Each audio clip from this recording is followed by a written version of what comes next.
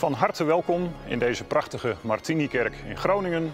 En ook van harte welkom bij het indrukwekkende orgel hier achter mij, wat ik altijd liefkozend mijn groene monster noem. In meerdere opzichten is het orgel eigenlijk wel een bijzonder monster. Want als je goed kijkt naar wat er allemaal te zien is in en op het orgelfront, dan kom je nogal wat verschillende dieren tegen. Zo komen we in het middengedeelte van dit orgel stijgerende paarden tegen. Een verdiepingje hoger zie je een soort zeemonsters. Helemaal bovenop het orgel kom je nog twee draken tegen die het stadswapen van Groningen bekijken. Uh, en je komt voor de nog allerlei hele typische fabeldieren tegen. Bijvoorbeeld ook saters. Dat zijn diertjes, half mens, half man, half vrouw, half dier. Uh, allemaal typisch voor de renaissance. En je ziet gewoon dat de mensen die dit orgel gemaakt hebben... zichtbaar plezier hebben beleefd aan het verzinnen van de meest wilde creaturen. Verder kom je natuurlijk ook de gebruikelijke engeltjes met trompetten tegen op dit orgel. Dat zijn er trouwens nogal wat. Maar de meest bijzondere vind je toch wel aan de zijkanten in de bovenkant van de grote pedaaltorens. Daar zie je snijwerk zitten waarin verstopt twee engeltjes met trompetten die eruit steken. En dat is voor mij toch altijd wel het beeld van het Martini-orgel. Maar daarmee is het nog lang niet over. Als je goed kijkt zie je in de details steeds meer mooie dingen. Want er zijn bijvoorbeeld ook twee zeemeerminnen die ook de trompet heffen. En dat maakt dit orgel alleen al om te zien een van de meest bijzondere ter wereld. Nou, ik stel voor dat we eens een kijkje boven bij het orgel gaan nemen. En dan zie je dat uh, ja, deze deuren voor een reus als ik gemaakt zijn. Tenminste, dat uh, geldt totdat je ze open doet. En dan blijkt dat je hier toch altijd even een buiging moet maken voor het orgel.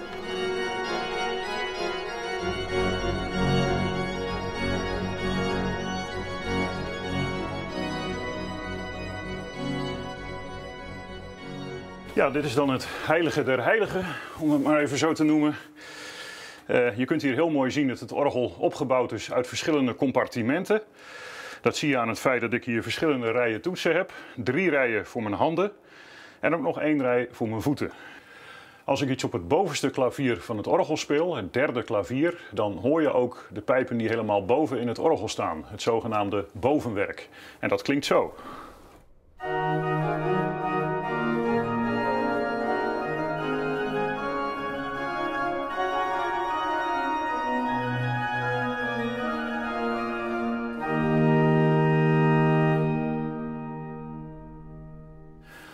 Het tweede klavier, het middelste, correspondeert met het hoofdwerk. Dat is het grote gedeelte midden in het orgel. Uh, daar staan ook veel grote pijpen in, relatief grote pijpen. En dat heeft ook een wat deftige, indrukwekkende klank.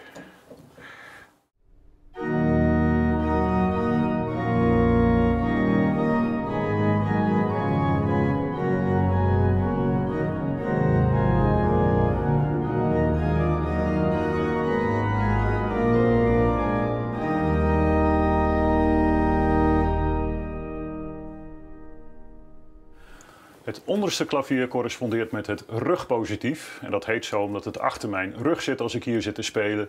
En dat is het gedeelte van het orgel wat ook echt naar voren springt, de kerk in.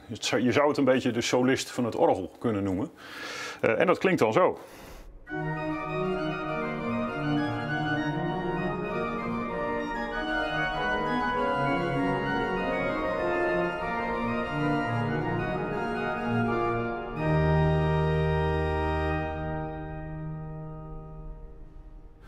En tenslotte het pedaal wat je met je voeten bespeelt. Het pijpwerk daarvan is ondergebracht in de grote pedaaltorens aan weerszijden. Uh, daar staan ook hele beroemde grote pijpen in van de beroemde orgelmaker Arp Schnitker. Dat is een beetje de Stradivarius van de orgelmakers, zo zou je hem kunnen noemen. En daar staan vooral hele lage tonen in. En dat klinkt dan zo.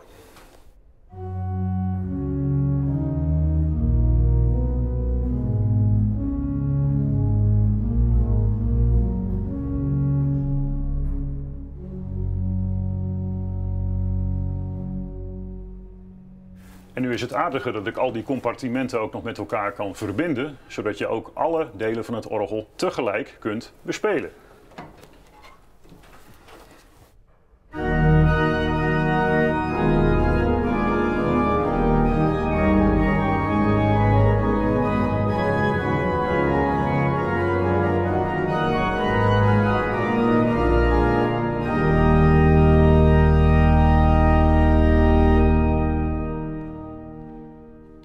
Enorme woud aan knoppen wat ik hier links en rechts van mij heb, dat noem je de registerknoppen.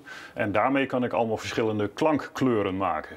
En je kunt bij een orgel de klankkleuren ongeveer in drie verschillende groepen onderbrengen. De eerste groep dat zijn de prestanten. Uh, daar zit het woord prestare in, vooraanstaand. Het woord president of principe is er ook van afgeleid. Uh, en dat zijn dus ook de pijpen die vooraan in het orgel staan en die ook zichtbaar zijn. Nou, de pijpen die van het hoofdwerk, dat middelste gedeelte, zichtbaar zijn, die zijn ook echt stokoud. Uh, die zijn echt een aantal eeuwen oud al en die geven dus ook zo'n prachtige belegen klank.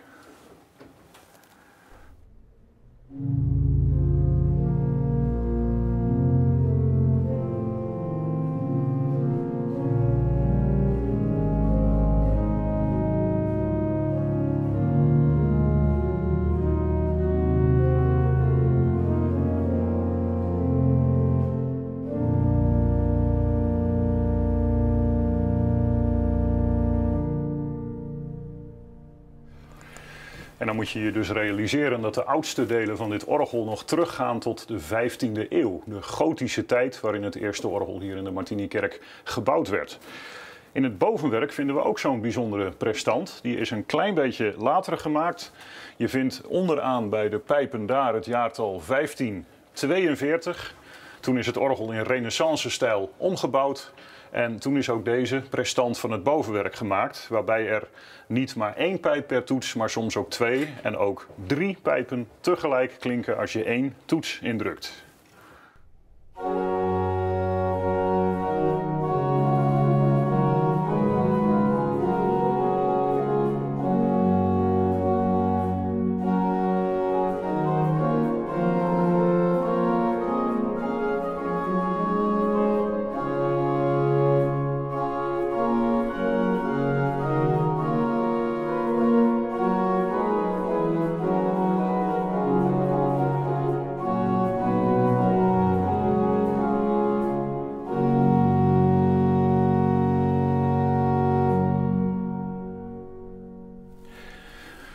Je goed kijkt naar het orgel, dan zie je dat het rugpositief eigenlijk een andere stijl heeft. Bij het hoofdwerk zie je vooral heel veel renaissance kenmerken, maar bij het rugpositief gaat het echt over de enthousiaste barokstijl. Allemaal van die kleine frutsels en versieringen. Het hele rugwerk zit er vol mee. En datzelfde speelse vind je eigenlijk een beetje terug in de klank van dat deel van het orgel. Dus ik laat nu even de prestant van het rugwerk horen.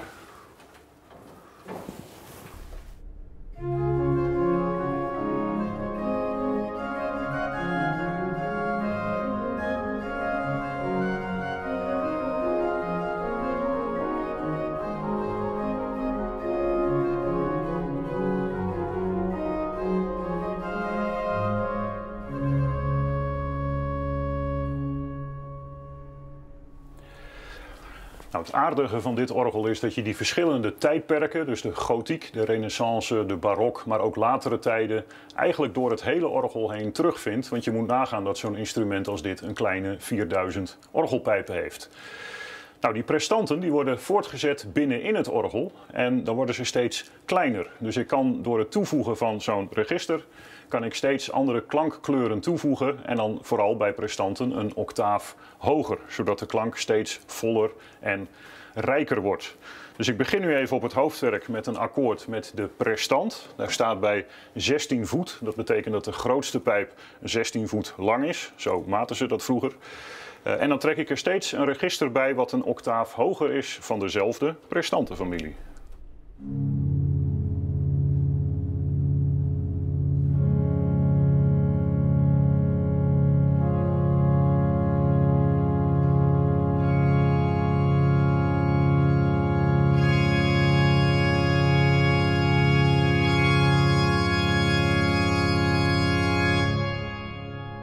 En het was wel te horen, bij die laatste twee registers kwamen er gelijk een heleboel pijpen tegelijk bij. Vandaar dat er ook niet bij stond zoveel voet, maar zoveel sterk. Dat betekent dat er zoveel pijpen tegelijk op één toets klinken. Nou, die prestantenfamilie vind je op alle delen van het orgel. We gaan nu eens even naar de tweede familie en dat is de familie van de fluiten. En de meest bijzondere en beroemde fluit vinden we in het bovenwerk en dat is de holfluit. Die komt ook nog uit de renaissance en doordat hij vlak onder de gewelven van de kerk staat, wordt hij prachtig versterkt en geeft het een ongelooflijk mooi effect beneden in de kerk.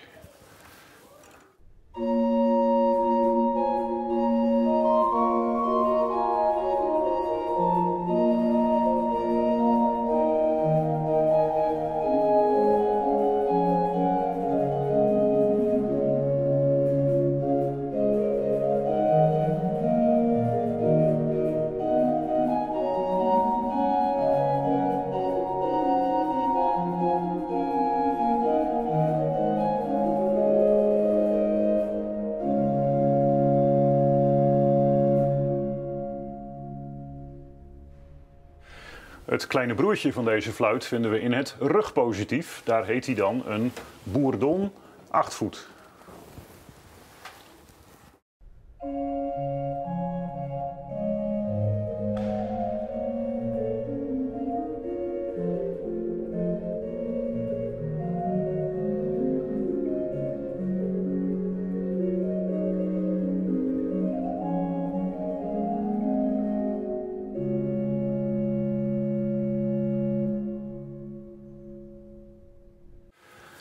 Nou, ook bij die fluiten heb je net als bij de prestanten allerlei soorten en maten. En in datzelfde rugpositief vinden we ook nog een hele bijzondere fluit 4.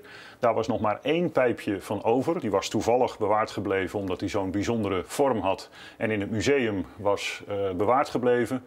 Uh, dat register is helemaal gereconstrueerd en klinkt ook echt heel bijzonder.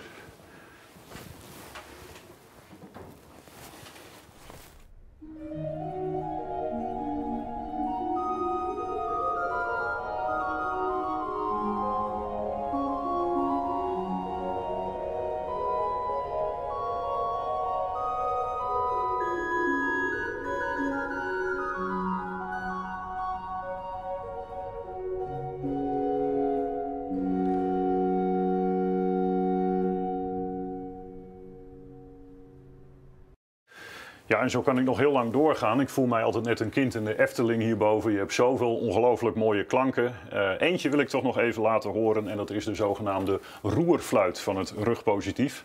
Een fluit waarbij een klein schoorsteentje bovenop de pijp zit. Hij wordt in het Engels ook een chimney flute genoemd. Uh, en die heeft ook een heel mooi poëtisch karakter.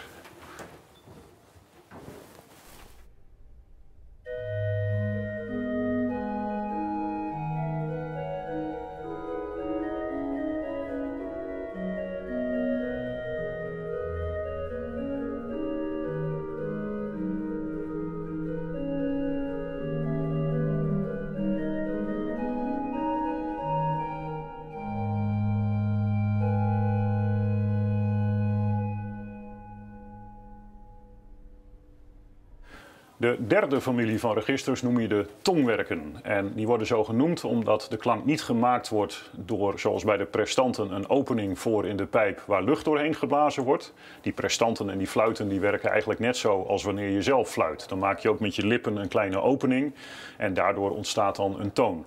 Daarom heten die mondjes van de pijpen ook labia en dat is gewoon het Latijnse woord voor lippen.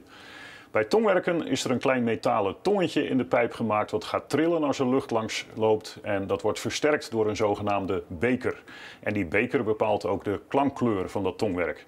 En de tongwerken imiteren uh, allerlei blaasinstrumenten. Dat kan een trompet zijn, maar dat kan ook een hobo of een klarinet zijn.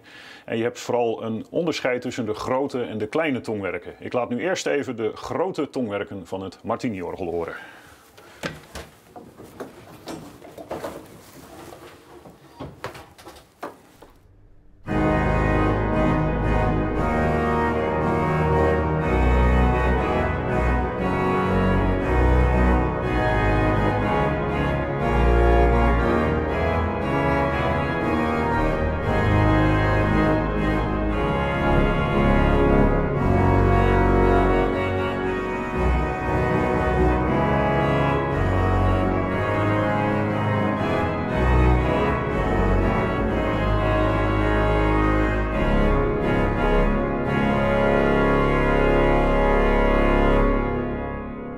Kun je dus echt een feestelijke fanfare mee maken. Maar er zijn ook kleine tongwerken. Die hebben dan ook bijzondere namen, zoals bijvoorbeeld hier een viola di gamba, die een mooi snijdend geluid geeft.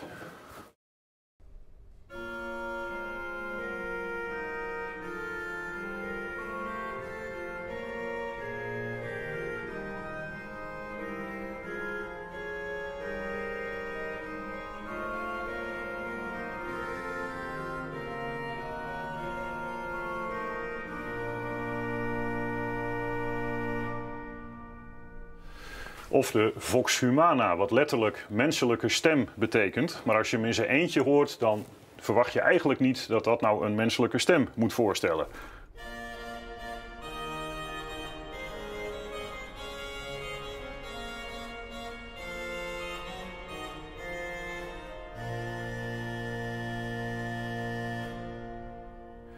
Maar als ik dat register nu eens uitbreid met een paar mooie fluiten, en ik voeg er ook nog aan toe een tremulant, wat de lucht laat vibreren, dan kun je je opeens voorstellen dat het toch wel iets heeft van iemand die aan het zingen is.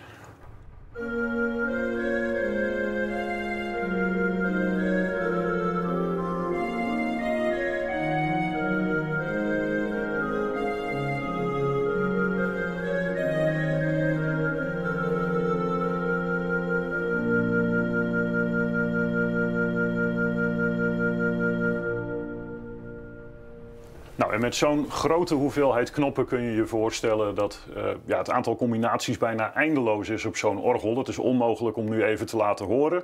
Een paar bijzonderheden nog. De grote pijpen aan de zijkanten zijn uniek, omdat ze gemaakt zijn door Arp Schnitker. Ik noemde zijn naam al even. In 1692. En het zijn de enige pijpen van deze grootte, namelijk een 32 voetsregister, die nog van Schnitker over zijn. En de laagste toon, een F in dit geval, in het pedaal, wat ik met mijn voeten bespeel, is dus ook echt van dit orgel de eh, grootste pijp. En die klinkt als volgt.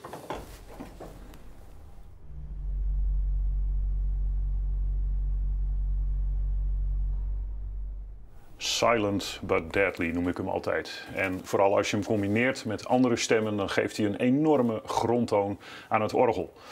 Nou, verder heb je hier natuurlijk ook hele kleine pijpjes in het orgel, om even een idee te geven hoe hoog dat wel niet wordt.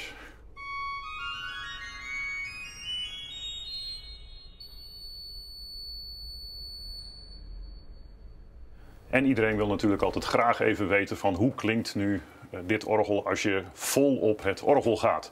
Nou, daarvoor hoef je niet alle knoppen open te trekken, maar wel die prestanten. Dat is echt de ruggengraat van het orgel. En natuurlijk de grote tongwerken. En als ik die allemaal samentrek, dan krijg je een indrukwekkende klank.